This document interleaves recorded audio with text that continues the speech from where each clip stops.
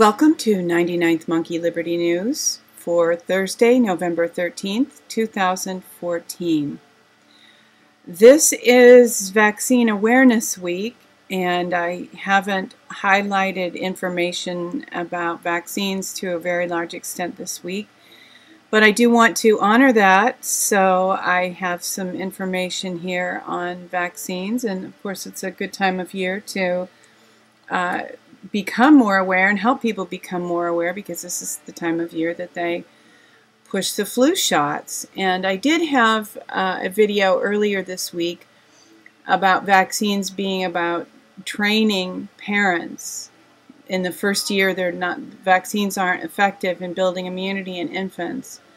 And that was a Paul Joseph Watson interview or video. And in the video, he uh, gave the statistic that the U.S. has the highest infant mortality rate among developed countries, and that the infant mortality rate here is 6.22 per 100 live births.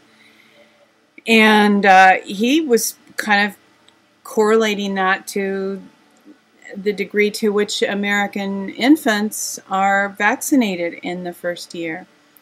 So this is a very, very serious issue. It's not just some casual oops, there might be a consequence later. It's really crucial for all of us to understand the dangers of vaccines, uh, and particularly for parents of infants, expecting mothers, and uh, and young parents of young children. It's, it's essential to understand the dangers. Uh, once people are fully aware. They might they still want to get vaccines. They might. Uh, they might bow to family pressure or something along those lines. Bow to the pressure of their pediatrician. It can be difficult to get medical care for your children if you refuse to have them vaccinated, but it is possible. Uh, and you can visit Mercola or Natural News for a lot of help with that. Uh, so again, this is Vaccine Awareness Week, and I have a few articles and videos. Um, then this is kind of, yeah, this is from Mercola, so good information here. And Jon Rappoport wrote a blog today, or I don't know, maybe he wrote it yesterday, but it's up today. Vaccines and herd immunity nonsense.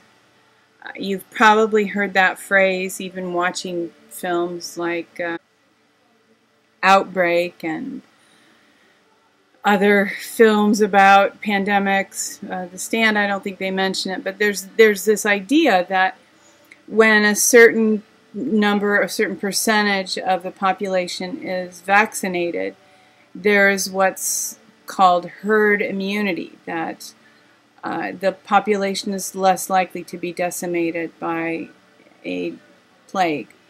Well, many educated people believe that is nonsense, and among them is Jon Rappoport, and he explains why it is nonsense. From Natural News, here's more, you know, easier to grasp immediately argument that herd immunity doesn't work. CDC documents influenza outbreak among population that was 99% vaccinated with flu shots. So where, where's their herd immunity here? Herd immunity is generally considered to be something like 75% vaccinated. And here we had this outbreak of, uh, you know, among a population that was 99% vaccinated with flu, flu shots. So along with so many of the myths about vaccines. You know, like what people always say, well, if you don't vaccinate your child, then my child is, my vaccinated child is more likely to become sick. What? uh, there is zero logic in that statement. Uh, this is an InfoWars video from yesterday Operation Depopulation Exposed Africa. And Alex Jones was talking yesterday about uh, these these programs to vaccinate African women, Indian women, and uh, many of them result in sterilization. And it's known. It's obvious. I mean, it's obvious to us. But uh, it is absolutely a fact that the vaccines uh, have antibodies that sterilize them. Not only are they just prevented from becoming pregnant, but it's an antibody that uh, teaches their the mother's bodies to reject the babies. At six months, uh, so you this they carry this baby for six months, and anybody who has ever uh, been pregnant can appreciate the heartbreak. They carry the child for six months, and then they spontaneously abort and I want to call this what it is. This is murder. Again, this isn't just oops, preventing a pregnancy. No, oh, she can't get pregnant. It's carrying a child for six months. And a six month old infant is pretty much fully developed except for some of the tissues that aren't ready yet to, to be in the in the world, especially the uh, lung tissues, they aren't, aren't ready yet to process the air to get oxygen. But this just is it, it is murder. I I need not say anything else. God help us. Rick Ross was on Alex Jones yesterday. This uh, describes the interview as explosive. It was excellent. It's a very good interview, and if you have the time, you might want to uh, give some time to listening to it. He was he sold cocaine. He talked about how he was tricked into just got, got on a slippery slope and needed money. His mother was pestering him about being lazy. So uh, he started to sell cocaine and the things that he learned. I mean, he was totally an insider and became fully aware that the CIA was involved and still is involved, really, in uh, illegal drugs, bringing illegal drugs into the U.S. and, and seeing to it that they are distributed. Uh, again, God have mercy. This is the, the things that we have tolerated in our nation, the extent to which we have been tricked and deceived is really astonishing. And it's time for us to be adults, stand up, uh, and uh, just say, no, oh, no, you didn't. No, you can't do this to me. Uh, you know, like the old, uh, the prisoner show. I, I'm not a number. I'm a man. I'm a, you know, deal with me. Don't, don't treat me like I'm an animal or a stupid child. But that's, that's up to us and, and our responses. David Wilcock wrote a lot of comments on Benjamin Fulford's blog this week. Uh, and I, I Kauilapele shared them, and uh, I, I may have mentioned them earlier this week. But what I want to focus on is this this phrase. The cabal basically no longer exists except as a tired old story that they are telling in movies, pop music, video games, and media disinfo. Well, yeah, the media disinfo is a big one uh, because as long as people still believe the lies, in some respects, we are paralyzed. Uh, so it's incumbent upon us to expose the lies and to counter the media disinfo, to help people understand, to show them facts, figures, articles that contain facts, figures, uh, help them learn how to do their own research, where to look, PubMed.gov about uh, medical issues, and some other some government websites about you know uh, position papers and executive orders and what has really been going on. And uh, I, I just I, I wanted to kind of have this as the good news of the day. But it does need to be balanced because uh, because it's still, you know, we still have the media disinfo and, and some of these other things. There's still a huge effort to deceive us, and there might even be an effort to kill us. And, you know, hey, we might think that we've won this victory, we might have our great republic. It'll be like after World War II, everybody will be happy, there'll be a baby boom. Uh, we'll be celebrating, we'll start to relax and trust our government again, and they'll sneak up on us again. So eh, eh, no matter you know how much good news we have about the cabal being defeated, uh, it's it's really crucial for us to remain diligent. I'm, right now, I'm thinking about in the Old Testament when they went back to rebuild Jerusalem after they'd been in Babylon.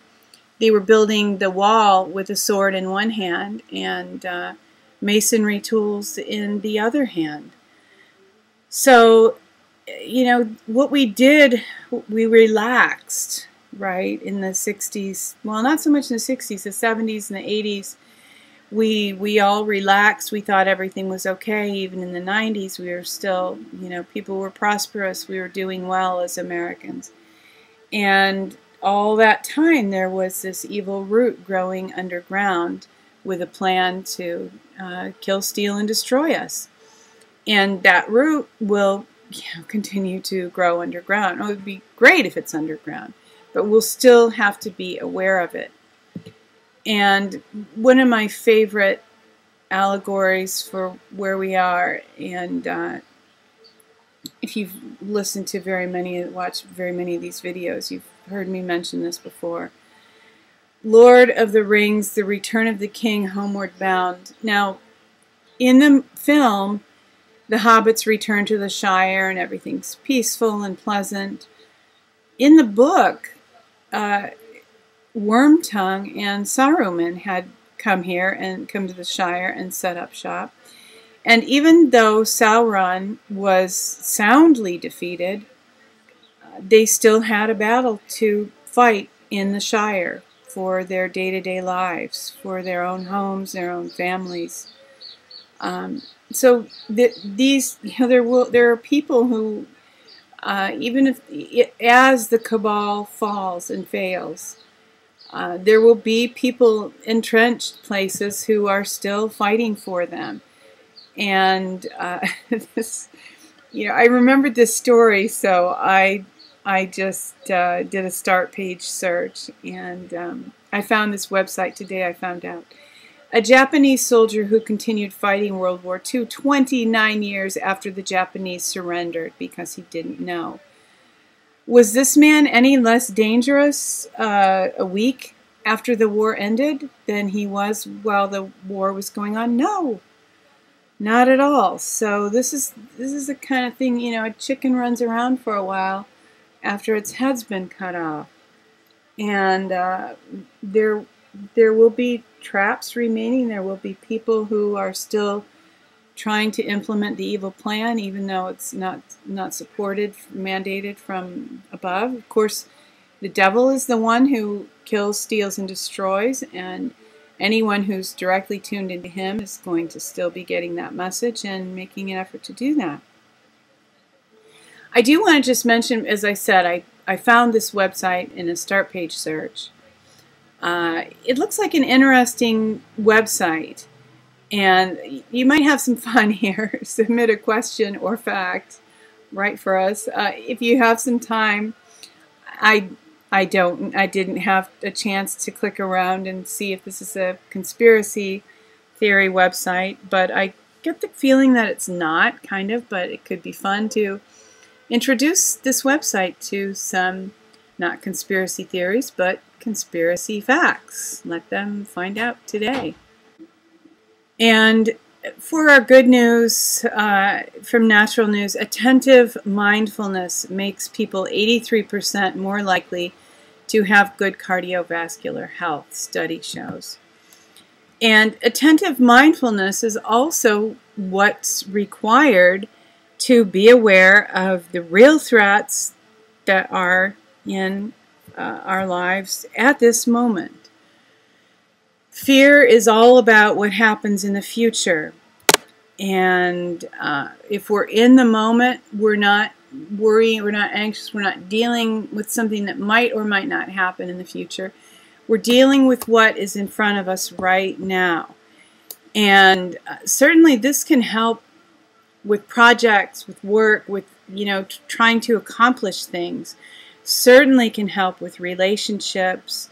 If you're in a conversation with somebody, be focused on it. If you don't have time for the conversation, uh, let them know that you'll get in touch with them later.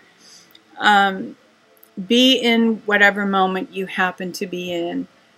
And it's just a good way to live, and it's also a healthy way to live.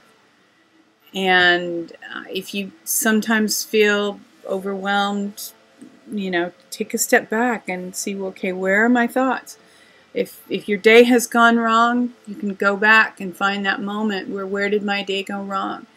And often it is uh, from stepping out of the present and stepping into uh, some circumstance that you know we have no control over. Fear is faith for the things that we don't want. And I once heard a very wise Christian woman say that uh, we only have grace for reality. We don't have grace for what might be. So, in order to tap into God's grace and, and take full advantage of God's grace, it's crucial for us to be in the moment and to focus on reality, not what might be. And as to, you know, this, this article was about health, cardiovascular health, and uh, the tie in is scriptural too. Uh, we can learn that from reading the scriptures, men's hearts failing them from fear and the expectation of those things which are coming on the earth. Uh, this is you know, this is not being in the present. Uh, fear and expectation. Expectation is in the future. So again, if, if we can focus on the reality that is our current reality, what is before us in the moment, it can help our health, it can help our lives. Thank you for tuning in for today's 99th Monkey Liberty News. Weeping may endure for a night, but joy comes in the morning. Hoping that you will love one another, take care, and insist on liberty and justice for all.